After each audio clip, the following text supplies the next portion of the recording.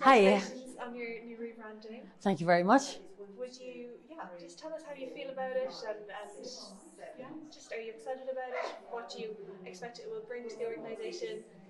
Yeah, I think yeah, I think its time has come really because I mean previously we were West Cork Women Against Violence project.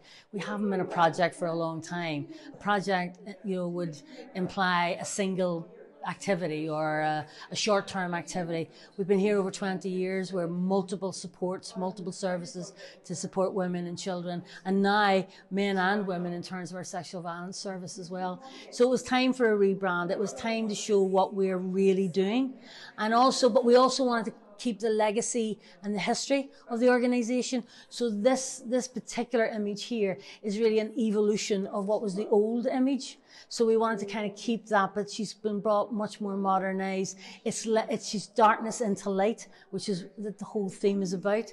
Um, and West Cork Beacon, that was a, a, the name came out of lots of focus groups. There was focus groups of supporters, staff, clients, the board, and you know the beacon is a is a symbol of, uh, of West Cork, the Baltimore Beacon. Beacon throws light in the darkness, and so obviously that became very important as well. And then we have our domestic violence service as well, and now we have the sexual violence service here too.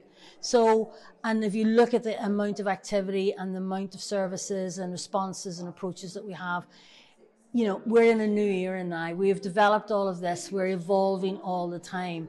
And I suppose in a way, as somebody said, this is an evolution of who we are. It's not the revolution. The revolution is in the work we do.